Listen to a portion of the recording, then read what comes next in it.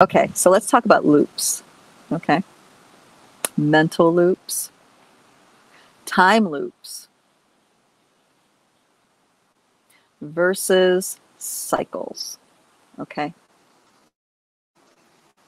Now, part of the reason why a lot of humans, when they think about our realm, our planetary existence circling around the sun, part of the reason why we've all we've so often had it depicted to us as the sun is stationary and we're going around it, that is reflecting a limitation on a subconscious level of who and how who we are, you know, and the kind of truth about our reality. Okay. Now, when people see the sun, when they see an image of the sun traveling through the cosmos with the earth spiraling around it and all the other planets spiraling around it, then that that like activates something inside of our psyche inside of our being it like opens us up to a whole another level of of our existence on a dimensional multidimensional level now you may not have a tangible awareness of this at first but it, it comes out over time usually through dream time. And, and some of the ways that it liberates our awareness is that it's pulling us out of the linear plane. It's actually pulling us out of linear, the trappings of linear time. Okay? Linear time is the past is the past, the future is the future, and right here is the now. It's like time flies like an arrow through time and space how we keep time on this planet is completely artificial.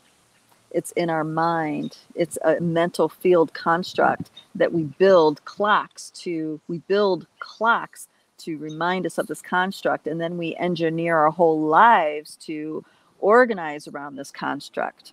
You see what I mean? And this keeps our thinking and our creativity limited when we do things like this when we think like this. So when you actually see that sun traveling through the Milky Way galaxy at hundreds of thousands of kilometers a second and the earth going around it that that is challenging that, that limited construct of linear time that's in our subconscious that tells us you know time is rules everything you have everything but time right this is a really important thing for us to to feel into for ourselves because creativity is harnessed by that. Our creativity is held captive, held is limited by this. And this is why working in the Akasha is really liberating for so many humans because once we start going into the Akashic levels, we get introduced to circular time. And we get introduced to larger cycles of the unfoldment of nature. Okay. Now, a sundial is much different than an atomic clock. A sundial is much different than the clock on your wall or the clock on your phone because it's it's still on natural time. The sun is creating the time reflection in the sundial. Okay. Remember that. That's an important facet here because that's natural time that is cycles. Cycles are not just circles that go round and round. Cycles move through ages, move through seasons. You see, cycles move through day in and day out, but they it's a cycle that's held by the sun and the earth. It's a cycle held by the solstices, the processions of the equinoxes. You see, these are natural cosmic cycles. And when we tune harmonize our harmonize our life to these natural cycles there's a freedom that happens inside of ourselves okay? We are no longer in the frequency of these hijacking constructs that are in our collective grids right now okay? So time loops trap us. Mental loops trap us. Mind loops trap us. And what does a mind loop look like? Mind loops happen to most humans, especially if you can track energy, right? And that's only because there's a point in time where the the strength of your mental loop, your ment- unaddressed mental emotional stuff, is stronger than the subtlety of the cycle.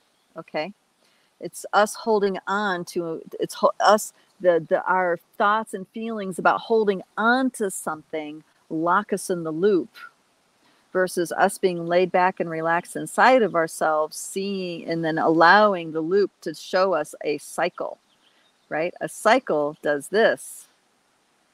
You're always progressing. Even if you're revisiting seasons, a loop is like this. It doesn't go anywhere, doesn't go anywhere, doesn't go anywhere. And then our own feelings and conclusions start contributing into the cycle. Oh, it's always the same. It always happens to me. Oh, woe's me. Blah, blah, blah, blah, blah, right?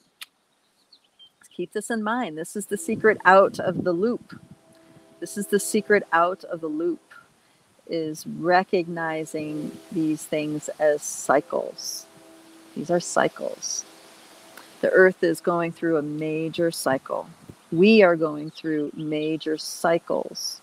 That's why some of this stuff feels so familiar, is because we have been going many of us, we just busted out of loops that have held us in place for eons of time, that's held our soul's journey in a particular loop for eons of time. Those loops are now opening, and now we can relate it to as a cycle. And it no longer has this endless feeling anymore. Now the infinite can come in. And I have a very tangible way to describe how it feels when the infinite comes in, and I'm going to share it with you guys. Have you guys ever been in a dep- deprivation tank? A sensory deprivation tank. These are tanks full of Epsom salts, and you go naked, and it's totally dark and totally silent. You go naked and float on this on in this water in this salt water and there and you go into a deep altered state because there's no distraction whatsoever no distraction whatsoever there's no sound there's no light it's complete darkness well all right they, so some some deprivation tank places like will allow a light because some people don't like the darkness. I like it when it's pitch black, when it's completely dark. And when you're in that space, you can tell the difference when you're in the mind versus when you're in your infinite nature. Okay? And this is this is the whole secret about stepping out of time. The whole secret about stepping out of time and, and living your life outside of time it's amazing. I got here. I'm able to drop this truth bomb on you guys. I love it.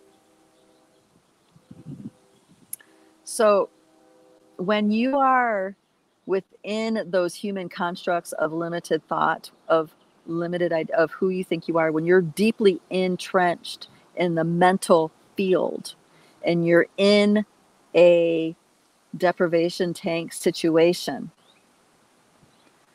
it'll be like time stands still that hour or 90 minutes in that hyperbaric or not um, hyperbaric um, in that deprivation chamber will feel like five hours three hours. It'll be excruciating. But when you are in that hyper uh, i keep saying hyperbaric for some reason. When you're in that um, deprivation tank and it feels like five minutes that's because you dialed out of the mental field and went into your spirit, into your infinite nature. And it was like, and not only that, your body got a complete relaxation and reset. Your emotional field got reset. Your mental field got reset. Your spiritual fields got reset. And when you step out, you feel completely calm and in harmony with the natural rhythms between earth and sky. Yeah, that's what it feels like. And we have we have abilities to visit this experience in this realm. I feel like that's a miracle. That's amazing. So now the trick is how do you let go of that mental field enough so you can get into your infinite nature in those situations?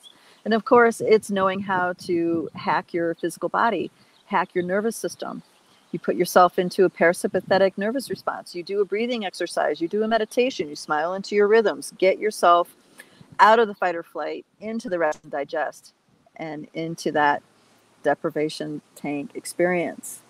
Then you can have a tangible experience to reflect on the difference between a loop and a cycle. That's how you can melt your melt those loops completely but it takes a lot of courage to let go of all that you think is real It's all, you know, all the reasons why you think you're this or all the reasons why you think you're that, you know? It takes a lot of courage to let that go. But if you can, believe me, it's completely worth it. It's completely, completely worth it.